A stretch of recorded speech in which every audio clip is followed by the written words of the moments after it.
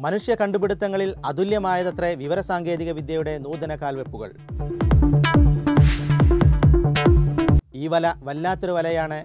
വലയുടെ വില അറിയുന്നവർക്ക് വലയുടെ മൂല്യവും അറിയും മൂല്യമറിയുന്നവർക്ക് വലയുടെ വിലയും അറിയും ഈ വാരം ചർച്ചയായത് കാണാ കാഴ്ചകളായിരുന്നു മുഖപുസ്തകം വഴിയും ഈ വിലാസം വഴിയും നിരവധി വീഡിയോകൾ പങ്കുവെക്കപ്പെട്ടു. അവയിൽ നിന്ന് ഏതാനും ചില കാഴ്ചകൾ എടുത്തുകൊണ്ട് ഈ ലോകത്തിന്റെ മറ്റൊരു അധ്യായം ആരംഭിക്കുന്നു. എല്ലാ സഹയാത്രികർക്കും ഹൃദയപൂർവം സ്വാഗതം.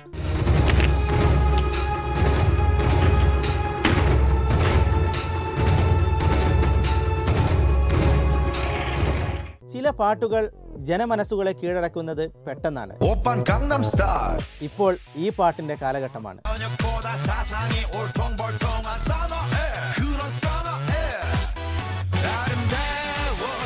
എവിടെ നോക്കിയാലും ഈ പാട്ടേ കേൾക്കുന്നുള്ളൂ. എവിടെ നോക്കിയാലും ഇതിന്റെ ദൃശ്യങ്ങളെ കാണുന്നുള്ളൂ.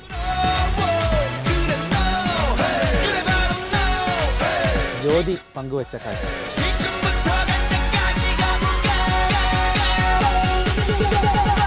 എന്നാൽ ഈ ലോകത്തിന് വിഷയം അതൊന്നുമല്ല. ഒരു കലാകാരന്റെ മനസ്സിൽ വിരിഞ്ഞ ഈ ഗാനത്തിന്റെ മറ്റൊരു ദൃശ്യാവിഷ്കാരമാണ് നാം കാണാൻ പോകുന്നത്. കുറെ നോട്ട് ബുക്കുകളുടെ താളിൽ ഈ വീഡിയോയുടെ ദൃശ്യങ്ങൾ പല ആംഗിളുകളിൽ വരച്ചെടുത്ത് താളുകൾ സ്പീഡിൽ മറിക്കുമ്പോഴുള്ള ചലച്ചിത്രമാണ് നമ്മുടെ മുമ്പിൽ തെളിഞ്ഞു വരുന്നത്.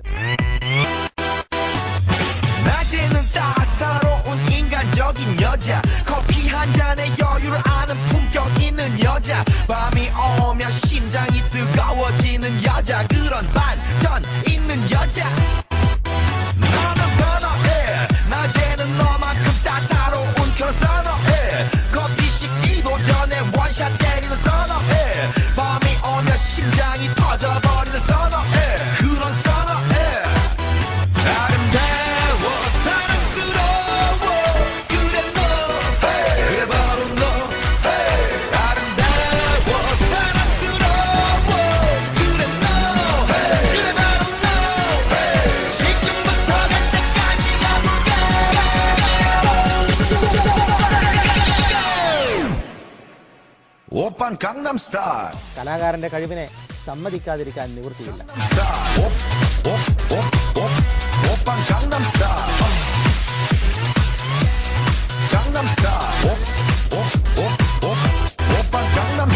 സൗദി അറേബ്യയിലെ തെരുവുകളിൽ ഫുട്ബോളുകൾ കൊണ്ട് അഭ്യാസ പ്രകടനം കാഴ്ചവെച്ച് ഏവരുടെയും പ്രശംസ പിടിച്ചുപറ്റിയ ഈ ബംഗാളി യുവാവ് ഏറെ കൗതുകമുണർത്തുന്നു. കാഴ്ച പങ്കുവെക്കുന്നത് സിംന സാദിഖ്.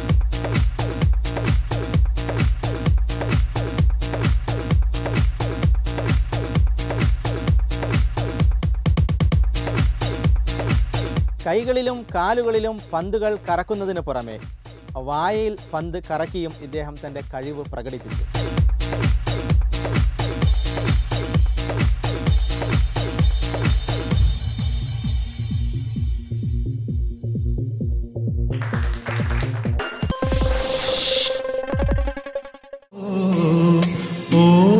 കാളവണ്ടി പതുക്കെ പതുക്കെ നമ്മുടെ നാടുകളിൽ നിന്ന് പോലും അപ്രത്യക്ഷമായി കൊണ്ടിരിക്കുന്ന ഈ വണ്ടിയുടെ ആധുനിക പതിപ്പ് നിങ്ങൾ കണ്ടിട്ടുണ്ടോ? ഇല്ലെങ്കിൽ ഇതാ കണ്ടു നോക്കുക ഇതാണ് സാധനം. ആരും ചിരിക്കാതെ കണ്ടു നോക്കുക സായിപ്പിനും കാണുമല്ലോ കാളവണ്ടിയിൽ കയറാൻ ഒരാഗ്രഹം എന്ന അഭിപ്രായത്തോടെ. രശ്മി രച്ചു പങ്കുവച്ച അമേരിക്കൻ കാളവണ്ടിയാണിത്.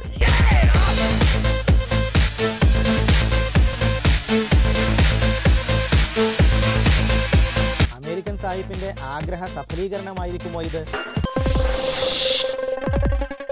മറ്റുള്ളവരെ കൊണ്ട് ജോലി എടുപ്പിച്ച് സായുജ്യമടയുക എന്നുള്ളത് പലരുടെയും സ്വഭാവമാണ്. ഇവിടെ ജോലി എടുപ്പിക്കുന്നത് ഒരു മനുഷ്യനെയൊന്നുമല്ല ഒരു കുഞ്ഞൻ മുയലിനെ. കണ്ടു നോക്കാം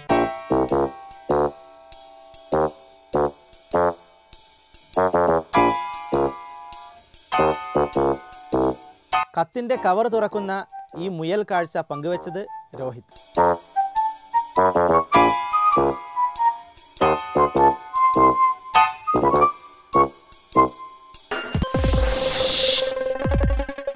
വീട്ടുകാർ കോഴിക്ക് വേണ്ടി വെച്ചതാണ് ഭക്ഷണപാത്രം. വിശന്ന് വലഞ്ഞു വന്ന പൂച്ചക്ക് അത് കണ്ടപ്പോൾ സഹിക്കുമോ? കക്ഷി വേഗം വേഗം വയറ് നിറക്കുമ്പോഴാണ് ഭക്ഷണത്തിന്റെ യഥാർത്ഥ അവകാശി സ്ഥലത്തെത്തിയത്.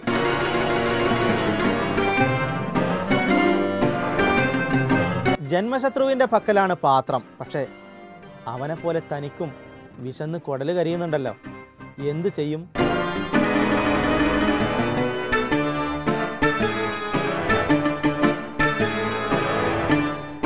നിനക്കർഹതപ്പെട്ട് നീ എടുക്കുക. എന്റെ കഞ്ഞിയിൽ പൂഴി വാരിയിടണ്ട എന്ന് പറഞ്ഞിട്ടാണാവോ?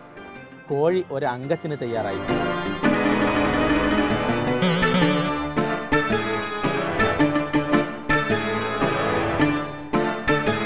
സധൈര്യം ഉറച്ചു നിന്നപ്പോൾ ശത്രു പേടിച്ച് പിന്മാറുകയും ചെയ്തു.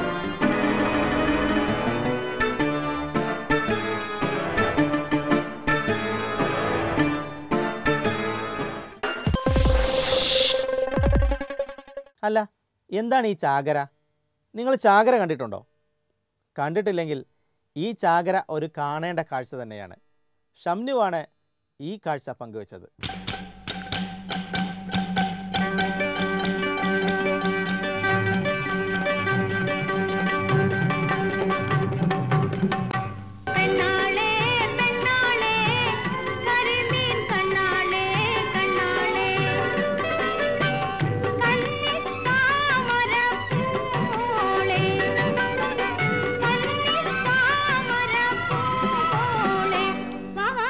കടലിന്റെ പുറത്തെ കാഴ്ച ഇങ്ങനെയാണെങ്കിൽ കടലിന്റെ അകത്തോ?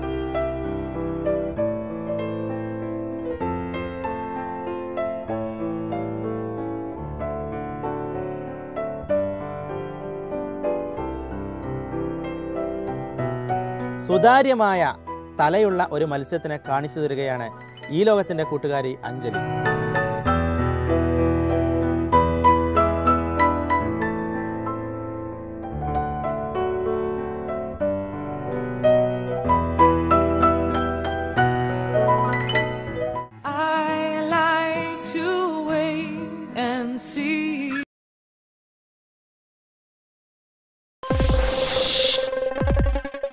ഇദ്ദേഹത്തെ അറിയുമോ? ഇത് നിക്കോളാസ് ജെയിംസ് വുജീസിക്. ജന്മന ടെട്ര അമേലിയ സിൻഡ്രം എന്ന അപൂർവ രോഗം ബാധിച്ച ആസ്ട്രേലിയൻ പൗരൻ.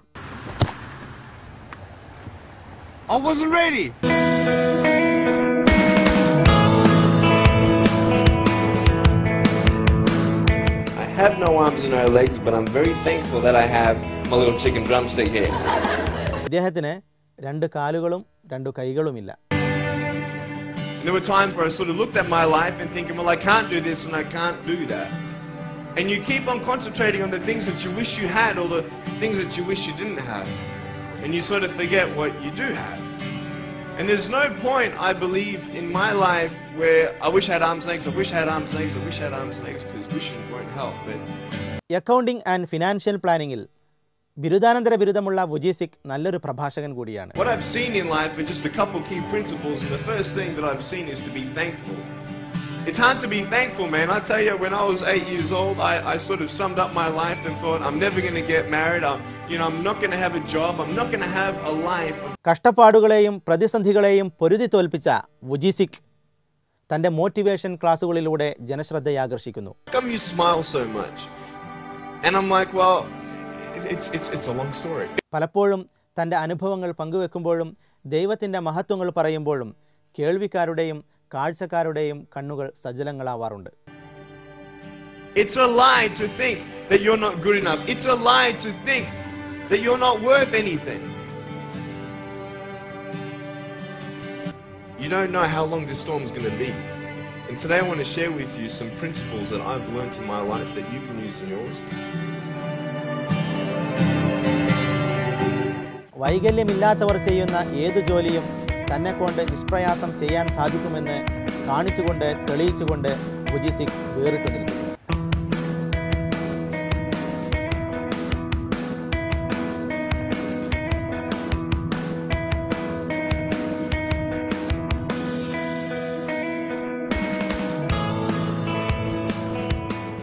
പൂർണമായി എല്ലാ അവയവങ്ങളും ഉണ്ടായിട്ടും അലസന്മാരായി ജീവിക്കുന്നവർക്കുള്ള പാഠമാണ് നിക്കോളാസ്. ചില പ്രതിഭകൾ അങ്ങനെയാണ്. മൊട്ടിൽ നിന്ന് വിരിയും മുമ്പേ അവർ എല്ലാം മനഃപ്പാടമാക്കി കളയും.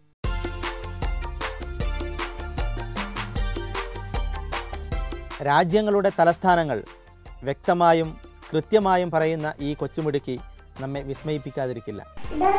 Japan China Canada Egypt, Peru, Jordan, Amman, UK, London, France, Paris, Germany, Berlin, Australia, Canada, America, Washington, UAE, Abu Dhabi, Nigeria, Abuja, Uganda, Kampala, New Zealand, Canada, Pakistan, Islamabad, Saudi Arabia, Riyadh, Cuba,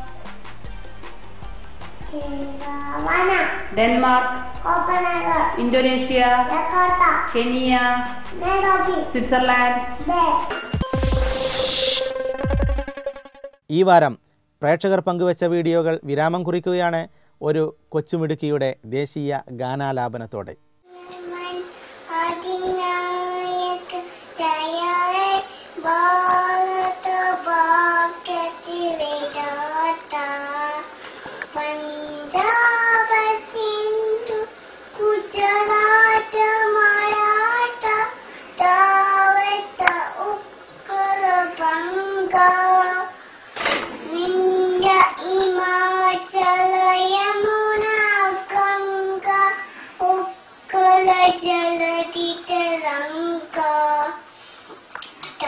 What you burn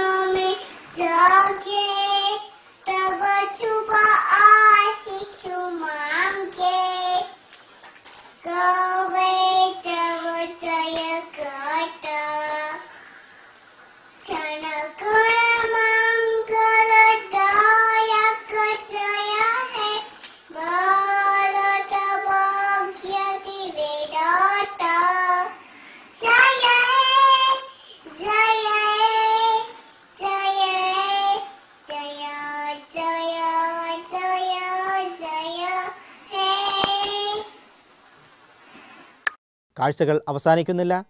internet ഉള്ളിടത്തോളം കാലം ഈ കാഴ്ചകളും തുടരും. നിങ്ങളുടെ mobile ഫോണുകളിലും ക്യാമറകളിലും പകർത്തുന്ന ദൃശ്യങ്ങൾ ഈ ലോകത്തിന് അയച്ചു തരിക. നിങ്ങളുടെ വീഡിയോകൾ ഈ ലോകം വെളിച്ചം കാണിക്കുന്നു.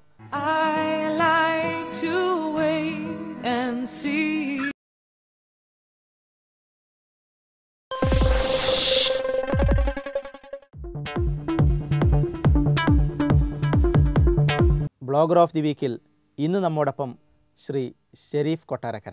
ഷെരീഫ് കൊട്ടാരക്കര. ജന്മം കൊണ്ട് ആലപ്പുഴക്കാരൻ. കൊട്ടാരക്കരയിൽ സ്ഥിരതാമസം. നീതിന്യായ വകുപ്പിൽ ജോലിയായിരുന്നു. അവസാനം റെയിൽവേ കോടതിയിൽ സ്പെഷ്യൽ ജുഡീഷ്യൽ ഫസ്റ്റ് ക്ലാസ് മജിസ്ട്രേറ്റായി ജോലി നോക്കി. തുടർന്ന് ലീഗൽ സർവീസ് അതോറിറ്റിയുടെ പ്രവർത്തനങ്ങളുമായി ബന്ധപ്പെട്ട് അദാലത്തുകളിൽ ജഡ്ജിയായി സേവനം നടത്തി. ഇപ്പോഴും നീതിന്യായ രംഗവുമായി ബന്ധപ്പെട്ട് ഇടപെടലുകൾ നിരന്തരം ചെയ്തുകൊണ്ടിരിക്കുന്നു. കൂടുതലും കുടുംബ പ്രശ്നങ്ങളും തത്സംബന്ധമായ മധ്യസ്ഥതകളും കൊണ്ട് കർമ്മപഥത്തിൽ അത്യന്തം തിരക്കുപിടിച്ച നിത്യചര്യ. ബ്ലോഗിൽ വന്നിട്ട് നാലു വർഷം. കഥകളും അനുഭവക്കുറിപ്പുകളും പ്രധാനമായി എഴുതുന്നു. ജാടകളില്ലാത്ത സ്വതസിദ്ധമായ എഴുത്ത്. അച്ചടി മേഖലയിലും സൃഷ്ടികൾ വെളിച്ചം കണ്ടിട്ടുണ്ട്. നമസ്കാരം സാർ. ഈ ലോകത്തിലേക്ക് സ്വാഗതം. നമസ്കാരം. എന്താണ് ബ്ലോഗിൽ നിന്ന് സാർ പ്രതീക്ഷിക്കുന്നത്? മനുഷ്യകുലം ഉണ്ടായ കാലം മുതൽ കഥ പറയാനും കഥ കേൾക്കാനുമുള്ള ആ ഒരു ഒരു ടെൻഡൻസി മനുഷ്യരിലുള്ളതാണ്. പണ്ട് മുത്തശ്ശി കഥകളും എല്ലാം കേട്ടു വളർന്നു വന്നു. കാലക്രമത്തിൽ കഥ പറയുക എന്നുള്ളത് ഒരു ചടങ്ങായിട്ട് വന്നു. കേൾക്കാൻ കുറച്ച് ആൾക്കാരും കൂടാരം കെട്ടി കഥ പറഞ്ഞിരുന്നു എന്നെല്ലാം പറഞ്ഞു കേട്ടിട്ടുള്ളത്. അത് പിന്നീട് ഇങ്ങോട്ട് വന്നു കഴിഞ്ഞപ്പോൾ ഹരികഥയായി കഥാപ്രസംഗമായി തിരിച്ച് കുറച്ചു കാലം കഴിഞ്ഞെങ്കിൽ വന്നു കഴിപ്പിച്ചു അച്ചടി മാധ്യമം വന്നു കഴിഞ്ഞപ്പോൾ അത് കഥകൾ പ്രസിദ്ധി കഥയായി കവിതയായി അത് പ്രസിദ്ധീകൃതമായി. സാറിന്റെ ബ്ലോഗ്? ബ്ലോഗിന്റെ പേര് ഷെരീഫ് കൊട്ടാരക്കര തന്നെയാണ്. എന്റെ പേര് തന്നെയാണ് ബ്ലോഗ്. ഒരു ബ്ലോഗേ ഉള്ളൂ. ഏകദേശം മുന്നൂറോളം പോസ്റ്റ് മൂന്ന് വർഷമായി ഞാൻ ബ്ലോഗ് നാല് കൊല്ലമായി ബ്ലോഗിൽ വന്നിട്ട്. മുന്നൂറോളം പോസ്റ്റുകൾ ഞാൻ ഇതുവരെ ഇട്ട് കഴിഞ്ഞു. ധാരാളം ആൾക്കാർ സന്ദർശിച്ച പോസ്റ്റുകൾ ഇതിനകത്തുണ്ട്. പല കേസുകൾ. ഇപ്പോൾ ഞാൻ ലീഗൽ എയ്ഡ് സെന്റർ ഒരു നിയമോപദേശം കൊടുക്കുന്നത് പോലെ ഒരു സ്ഥാപനം സ്ഥാപനമല്ല എങ്കിലും അതുപോലുള്ള ഒരു രീതിയിൽ ഞാൻ നടത്തി വരുന്നുണ്ട്. അപ്പോൾ അവിടെ വരുന്ന അനുഭവങ്ങളുണ്ട്. അതെല്ലാം അതേപടി വരച്ചു വയ്ക്കുമ്പോഴേക്കും ഒരുപാട് പേര് വായിക്കുന്നുണ്ടെന്നാണ് എന്റെ വിശ്വാസം. കാരണം കമന്റുകൾ ഒരുപാട് അതിനകത്ത് വരുന്നുണ്ട് അതിനകത്ത്. ബ്ലോഗേഴ്സ് മീറ്റുകൾ ബ്ലോഗിങ്ങിന് എത്ര കണ്ട് പ്രയോജനപ്രദമാണ്? സാറിന്റെ അഭിപ്രായത്തിൽ. മറ്റ് അച്ചടി മാധ്യമ അച്ചടി ലോകത്തെക്കാളും സ്പർദ്ധ കുറവും പരസ്പരമുള്ള അസൂയ കുറവുമുള്ള ഒരു ഫീൽഡാണ് ഭൂം ബ്ലോഗ് ലോകം. ബ്ലോഗേഴ്സ് മീറ്റ് കൊണ്ട് പരസ്പരം സൗഹൃദവും നമ്മൾ അങ്ങോട്ടും ഇങ്ങോട്ടും പരിചയപ്പെടാനുള്ളൊരു വേദിയും ഇതിനെല്ലാം ഉപരിയായി ബ്ലോഗിൽ ഒരു ബ്ലോഗർക്ക് അറിയാൻ പാടില്ലാത്ത ഒരു വിഷയം മറ്റൊരു ബ്ലോഗർ പറഞ്ഞു കൊടുക്കാനുള്ളൊരു വേ ഉള്ള ഒരു അവസരവും ഇതിൽ നിന്ന് ലഭിക്കുന്നുണ്ട്. ഇത് മാത്രമല്ല വലിയൊരു സൗഹൃദം സ്ഥാപിച്ചെടുക്കുക എന്നുള്ളത് കൂടി ബ്ലോഗേഴ്സ് മീറ്റോട് സാധിക്കുന്നുണ്ട്. അടുത്ത ഏപ്രിൽ ഇരുപത്തിയൊന്നിന് തുഞ്ചമ്പറമ്പിൽ വെച്ച് നടക്കുന്നുണ്ട്. നല്ലൊരു മീറ്റ് വരുന്നുണ്ട് അതിനകത്ത്. ഭൂലോകത്ത് നാല് വർഷത്തിന്റെ പാരമ്പര്യം സാറിന് അവകാശപ്പെടാനുണ്ട്. എന്താണ് തോന്നുന്നത്? സംതൃപ്തിയാണ് എന്നെ സംബന്ധിച്ചിടത്തോളം ഉള്ളത്. കാരണം എന്റെ ഉള്ളിലുള്ളത് അതേപടി മറ്റുള്ളവരെ കേൾപ്പിക്കാൻ സാധിക്കുന്നു എന്നുള്ളൊരു സംതൃപ്തി. ഭൂലോകത്തും ഒരുപാട് കാരുണ്യ പ്രവർത്തനങ്ങൾ നടക്കുന്നുണ്ട്.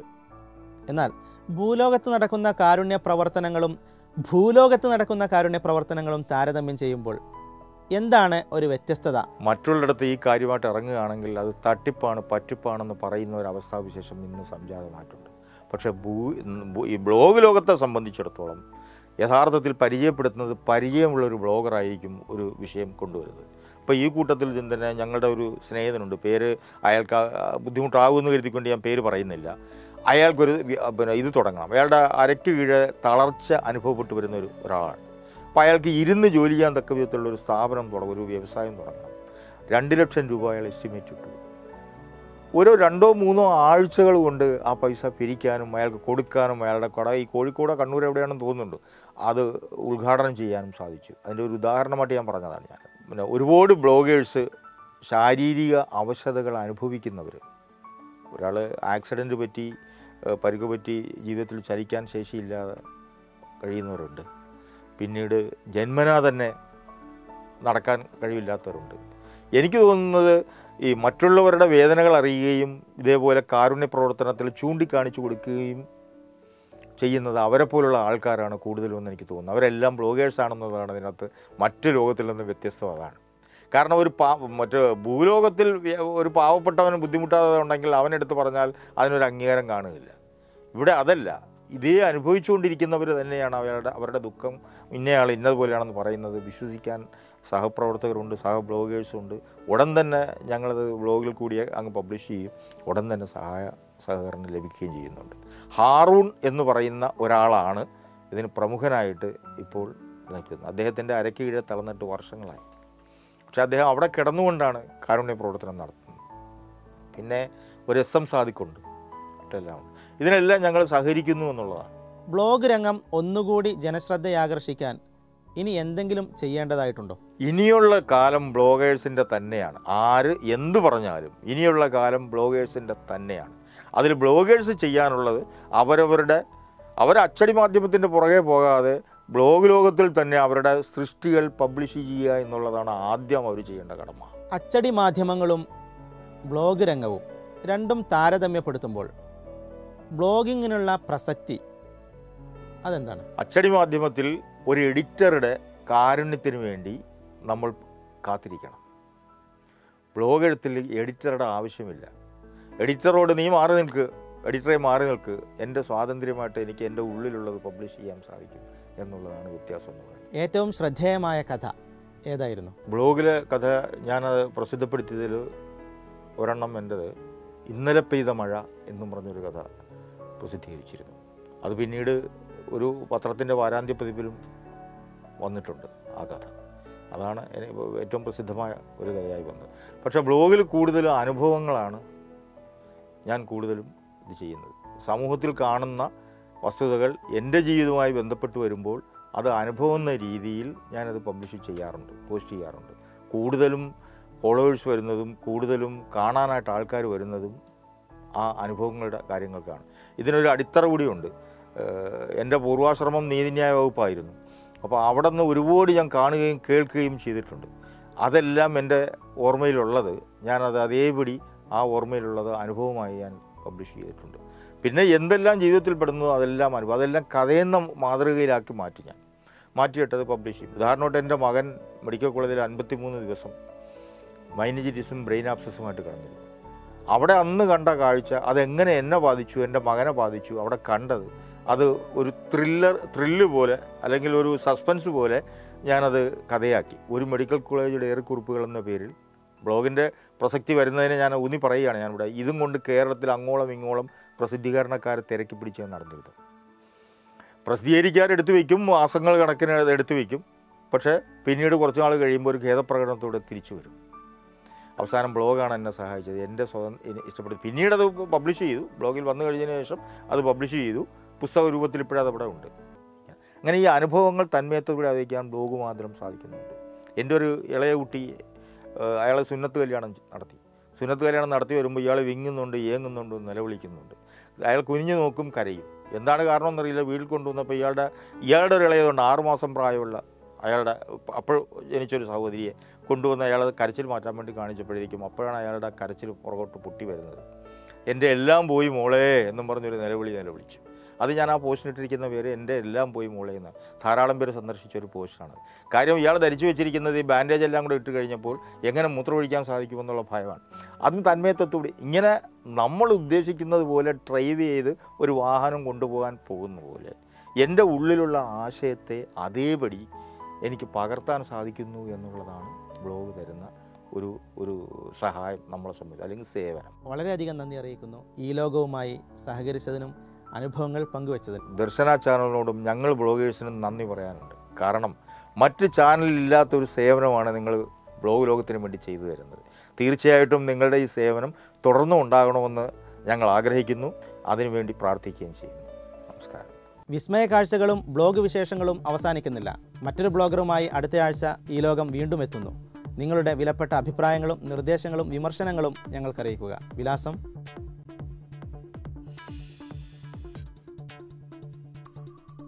ഈ ലോകത്തിന്റെ മറ്റൊരു അധ്യായവുമായി അടുത്തയാഴ്ച നമുക്ക് വീണ്ടും കണ്ടുമുട്ടാം. അതുവരെ നന്ദി നമസ്കാരം.